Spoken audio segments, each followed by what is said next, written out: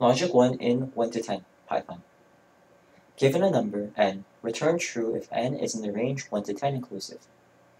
Unless outside mode is true, in which case return true if the number is less or equal to 1 or greater or equal to 10. So let's go over the sample cases first. So here, outside mode is false.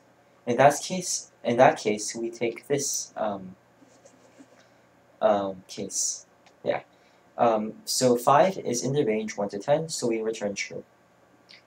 In this case, um, in this sample case here, false or outside mode is false.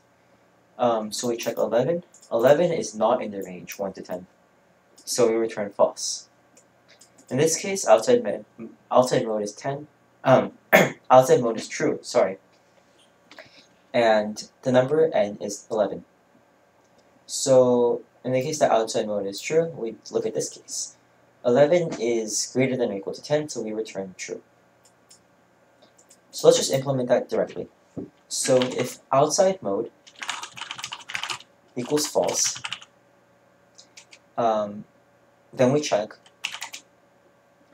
Um, let's break it into more statements. So if then we check is n in the range 1 to 10 inclusive.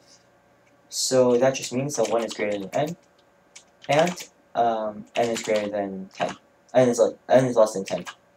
And this just defines a range where n must be, yeah, in the range 1 to 10 inclusive. So if this is true, we return true. If this, if n is not in that range, but um, outside mode is still equal to false, then we return false.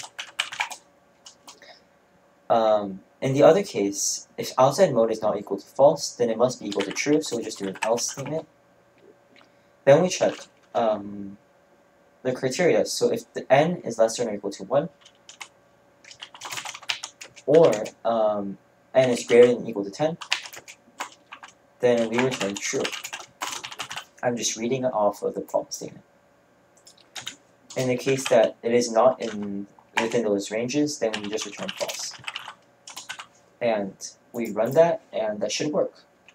All correct.